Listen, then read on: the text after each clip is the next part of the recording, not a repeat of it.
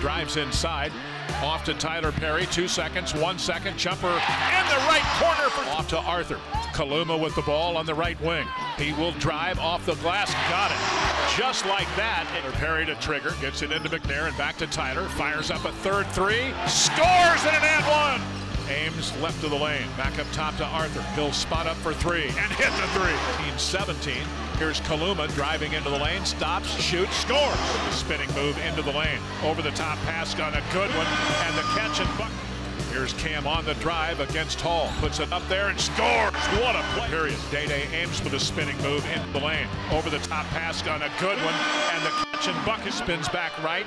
Shoots it up there off the window. Did not draw iron, but right there to score on the back to the right. Stops, fakes, kicks left. Dai Dai for a triple. Yeah, he got it lane.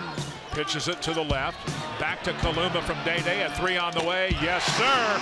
Perry at the free throw line. Nice cut by Gasson. Off to the big man, and he'll stuff it. It goes to Kaluma with four. He'll have to do something. Running out of clock time. Bank shot. Yes, and a foul.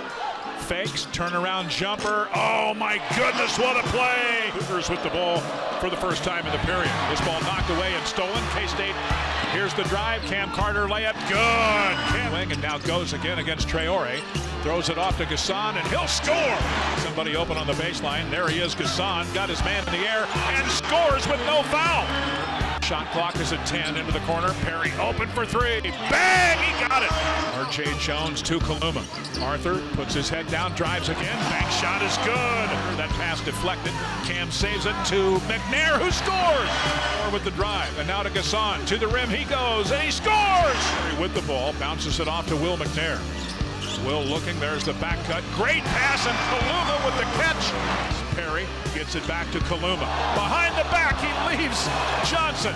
And here is Gasson with the throwdown! Score, the Wildcats win their 16th game of the year, 84 to 74 against BYU.